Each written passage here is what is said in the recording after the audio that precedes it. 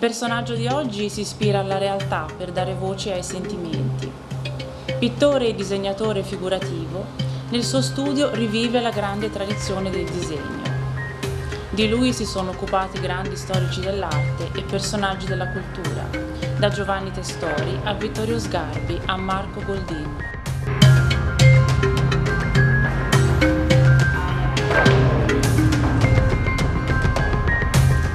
Andrea Martinelli Art Connections.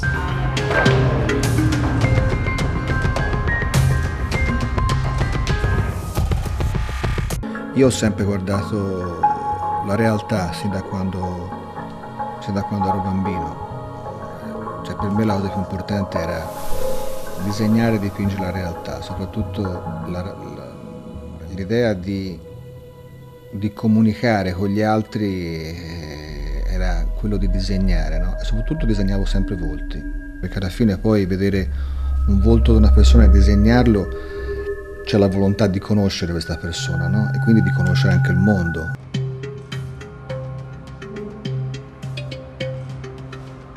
I suoi volti potrebbero sembrare iperrealisti, ma il loro è un realismo che coinvolge con la magia dello sguardo.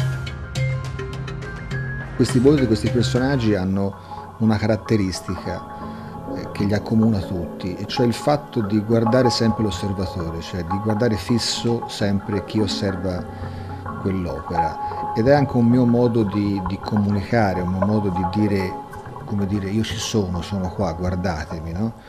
eh, ma è riferito a me, ma è riferito anche a questi personaggi che poi alla fine sono quasi come dei, dei personaggi, eh, come posso dire, dei vagabondi che, che, che, che, circolano in queste città di sogno, con questa atmosfera appunto molto surreali, eh, quasi alla ricerca di, del, del, proprio io, no? della, propria, della propria identità. Gli occhi eh, erano e sono fondamentali perché in qualche modo devono catturare l'attenzione e, e, si deve percepire un'anima, si deve percepire un mondo, che poi alla fine è il mio mondo, ma è il mondo anche di, di tutti noi. Insomma.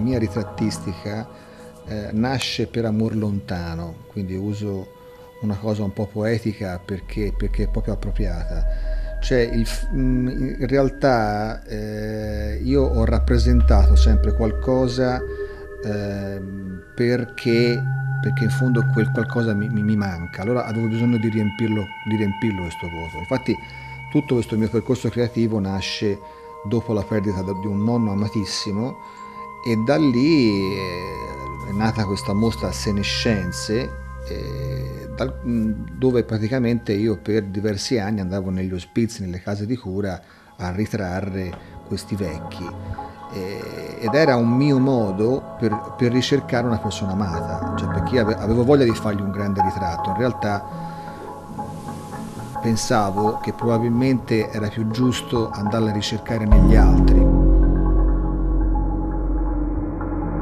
Però ecco, in realtà io questo nonno, sembra strano, non l'ho mai rappresentato. Cioè, ho rappresentato sì un nonno, ma era quello materno, quello che era ancora in vita. Però era, come dire, in, in fondo era sempre un grande atto d'amore verso questa mancanza. Cioè, nel momento in cui mi mancava, lo andavo a ricercare negli altri. E quindi è stato un continuo omaggio come lo è stato anche recentemente nella mia ultima mostra agli Uffizi dove io ho raccontato una storia d'amore, una storia d'amore dove una persona improvvisamente se ne va, va via dalla mia vita e la ricerco nella notte. E nella notte ho avuto questo dialogo notturno eh, nella quale io ricercavo lei, la ricercavo nel ricordo, la ricercavo nella memoria. Quindi questa è la dimostrazione che tutto il mio lavoro, quindi da, dall'inizio degli anni 90 fino ad oggi, eh, tutto nasce appunto da, da, una mancanza e quindi in questa mancanza, in questo rovello, in questo tormento, come dire, ho, ho, cercato, ho cercato, una luce, perché poi alla fine i miei, le, i miei quadri, le mie opere sono appunto molto ombrose, molto, molto misteriose, anche a volte anche nei titoli, eh, perché in realtà la luce che, che, che, c'è in queste opere sono sempre luci molto, molto flebili molto, molto leggere, no? però c'è sempre in lontananza una luce che appare, che dà anche un po' un senso di spiritualità no? a, questi, a, questi, lavori. E, e, quindi come dire, la luce, la luce è la speranza, la luce è l'amore, ritrovare, ritrovare questo amore che lo vedi lontano, però senti che c'è, che è lì, che, che appare dietro a questi personaggi. E quindi tra l'ombra e la luce, in questo continuo rovello, in questo tormento di ombre, mi sono, mi sono ritrovato e, e, con queste ombre mi sono anche un po', un po', riscaldato. E questo è anche un po' una mia forma di, di romanticismo, perché alla fine io sono e mi reputo un eterno romantico e anzi me ne faccio anche un vanto perché oggi dire romantica è quasi una banalità, no? però eh, questa forma di romanticismo mi, mi, mi riscalda, mi, mi, riscalda il cuore, mi riscalda l'anima, mi fa ritornare indietro nel tempo, mi fa ricordare di quando ero bambino, eh, il ricordo della carezza di mia madre, il ricordo di un sorriso del nonno, ma anche il ricordo di un amore, di un amore che non c'è più e che, che ritorna e che cerco di far rivivere attraverso, attraverso anche un semplice disegno, attraverso la rappresentazione di un volto che è il volto di, di una vita. Insomma. Alla recente donazione di un autoritratto alla Galleria degli Uffizi da parte dell'artista è seguita una mostra con opere di Martinelli e fotografie di Berengo Gardini. Il progetto della mostra è stato seguito da Pamela Gori. L'incontro con Andrea Martinelli è avvenuto circa un anno e mezzo fa. Eh, e da lì nasce la nostra collaborazione. Io collaboro con lui in qualità di assistente mm, per tutti quelli che sono i suoi progetti artistici e il primo appunto è, stato, è stata la realizzazione della mostra agli Uffizi. Entrato a far parte della collezione del corridoio vasariano, il grande autoritratto, La Bocca, racconta una storia di vita vissuta.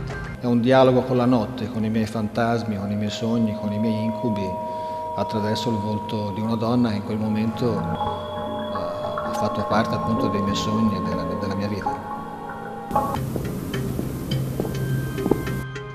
Presso Palazzo Pretorio, dopo la mostra agli Uffizi, i monumentali ritratti di Martinelli sono visibili nei minimi dettagli grazie a un progetto della Digital Contemporary Museum Hyper Portraits ideato da Elisabetta Rizzuto. Il progetto nella sua prima uscita eh, sviluppa proprio, si sviluppa nella contrapposizione della tradizione del disegno, qui abbiamo uno dei massimi rappresentanti della contemporaneità, appunto Martinelli, e la mette in confronto con le tecnologie che diventano strumento della diffusione dell'arte e dell'immaginario di Andrea Martinelli.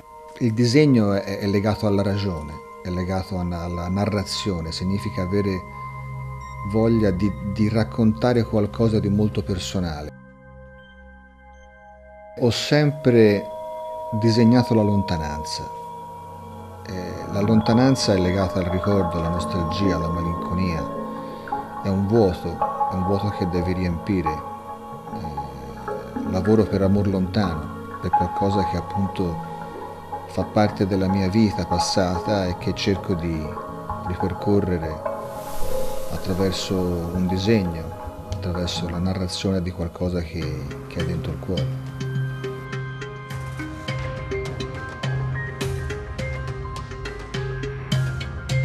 Con le sue opere è come se Andrea Martinelli ci ponesse davanti uno specchio che riflette dentro noi stessi.